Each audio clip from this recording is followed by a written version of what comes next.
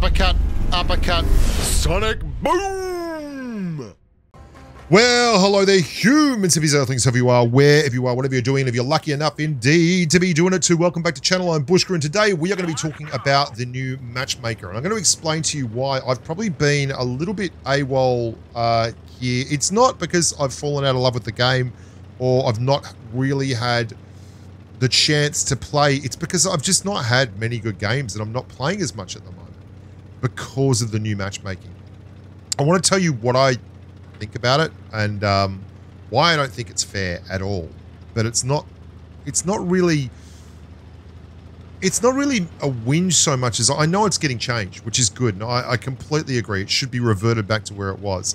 And I want to give reasons for that. I haven't really had a huge voice in this because, look, to be frank, the player base kept asking for this. Uh, if you go back to videos 10 years ago, the same shit was getting said in comments back then. It was like, we need skill-based matchmaking. This is bollocks. My team sucks. I can't get better wins. Uh, Wargaming have tilted the matchmaking against me. I am. There's like so many people that thought that they were specifically being targeted by matchmaker. Um, and people got what they wanted. Like they got teams that were quite strong or weak. And yeah, no one wants it. No one wants it. And it's unfair for everyone. I'll tell you why. Um, first and foremost, this has been going on for 10 years, the current matchmaker. So it was fair in as much as everyone got the same shit show, right? Everyone got the same shit show. Sometimes your team would not know what they were doing. Other times they would. This was the ecosystem that we all lived in. And you ended up then with players in a seven tank game with like 70% win rates who were really, really good. But if the matchmaker had been like this from the start, a really, really good win rate would have been 55 to 60%. That would have been incredible, like top the server, you know, end of the bell curve kind of range. 70% would have been the best player in the world, right? So you get this weird thing where we've had that for 10 years. And now they change it, and all the server's doing now is dragging everyone down to 50%. And that means that the guys who are at 70 have got the furthest to fall. And it doesn't set it up so that everyone's having a good time. Like, it just sets it up so that, for instance, you're playing against a 70% win rate player. And what it does, instead of finding another 70% win rate player and matching everyone up perfectly down the line, it gives you like 365% win rate or 360s in the other team and a bunch of 50s. And the way you get to 70% win rate and the way you have a 6k damage game is people on the other team make mistakes. But when you've got a whole bunch of competent players, they just don't give you anything. And so the competent players get wins where they're playing really good players, but they're doing 2.5k damage each and the guy who's really good is just getting ruffle stomped because they're not just going out sideways. They just won't give him what they want or her what they want. They won't, you know, come one at a time and and blow their repair kit on the first little thing. Like it's no one's enjoying it, and I found I wasn't enjoying it. I was playing and I was winning or losing like half my games. And I felt like I was having less impact on the game than I'd ever had in the whole time I've been playing Blitz. And I wasn't having the kind of games where it was remarkable, like where you pull off something crazy against the odds. It was, there was none of the chaos element. And I don't like that because we already have skill based matchmaking. It's called ratings. You can go and play ratings and you get ranked and fight for more rating. And you, that's what ratings is. Go and play that. It's like if you play World of Warships. You have random games, you have different game modes like we have, um, but then you have ranked where you try to get to rank one, okay? And they've got bronze and silver and gold, and you're trying to get to rank one, and you get to rank one, and it's a big thing. It's an achievement. That's what you should have. You have a ranked game mode, and everything else is just a shit show of chaos and frivolity.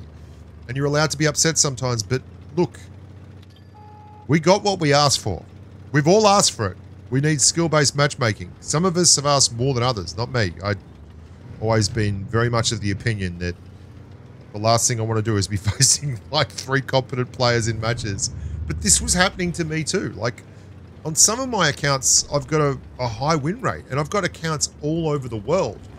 And I went and tried them and voila, like the high win rate ones were the least fun to play.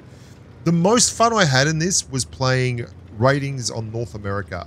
But that was a shit show because my ping's horrible on North America. I don't know why it's so bad on the Wargaming servers, but it really is. Um, and by the way, congratulations to the father and son duo here that we're watching. I should have mentioned this at the outset. This is uh, Priest, and you're going to need a bigger boat. And it's father and son. I've had this game on file for like, it could be a year. Like, I don't know. I've had it on file forever. So if you guys are still playing the game, um, congratulations on featuring on channel. Finally. My bad. Should have got you on here long ago. Uh, so where was I? Yeah, so it's unfair for everyone and it kills the fun for everyone. If you just want to win, you can game the system. You can get a shit win rate account, tune it up with a reasonable win rate account, and get better matchmaking. I mean, like, oh. So they're reverting it, and I think that's a great deal. Um, it's it's funny to me though that people seem to have this idea that the game is in a bad place all the time. And they've had the same idea forever. And you'll see the how angry they'll be when they'll come back and leave a, a comment on YouTube or something like, I uninstalled five years ago and I can tell you I'm happy I did. Um, and that's great being angry, but then there's people that just don't uninstall. They just keep playing the game and getting angrier and angrier and angrier. And this hasn't made them happier. Because I'll tell you what, most of the people that play the game get farmed. Like the you don't get a 60% win rate or a 70% win rate without farming a lot of people. And yet, the ones who yell the loudest are the ones who have the biggest win rate. And by the way, this is Ty Lockwood, long time contributor. Ty is one of the most featured players on channel, and this video of Ty's in the Chieftain T95 is old as well. Like, this is a real from the vault kind of video because I just don't have any videos really, I think, that are worth going. You know what I had? A whole buttload of like 3k wins and 2k losses. And the wins and the losses, they're so vanilla. They are so freaking vanilla. And I know that is not fun. It's funny. It's almost like the Matrix where they talked about, you know, we tried to build a perfect world, but humans just rejected it. it's like we all want this perfect, perfect, tough game where our teammates don't let us down. But we don't. We really don't. Really don't. We want to be heroes. We want to be. Uh, we want to perform great deeds against the odds and earn the plaudits of our uh, companions and our comrades. And at the end of the day, skill-based matchmaking just removes that. It might have allowed you to do that if we had have had this matchmaking from the very get-go. But now, like 10 years in, when you have whole teams full of people with 20,000 plus battles, skill-based matchmaking is just dragging everyone down into the morass of mediocrity. So I think Wargaming, kudos to them for having a crack at it.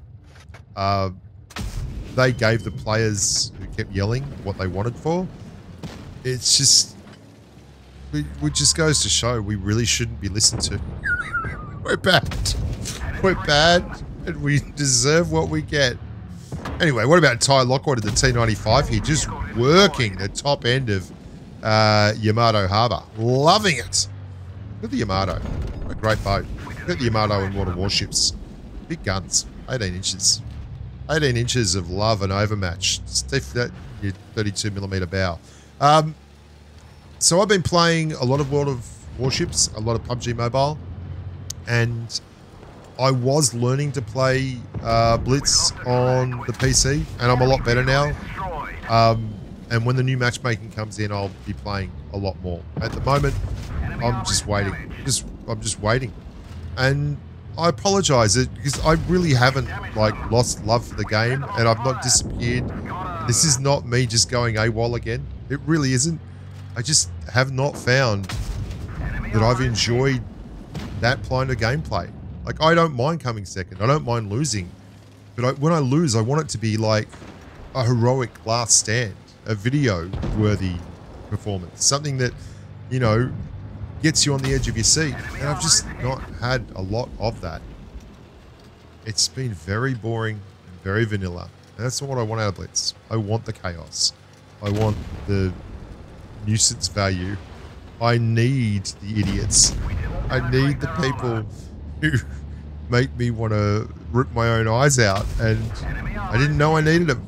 You probably didn't know you needed them either, but you do. And they're there. They're not going anywhere. And the next update, we'll get it back. Everyone's going to have a good time. My word. Thanks very much, uh, Ty Lockwood. We'll have to get help from the bug out here. Get get all the old flames going. Um, look after yourselves. Stay safe on the battlefield. And as always, bye for now. When was this? This is a long time ago, this game. Good on your Ty. 5,000 damage. What a legend.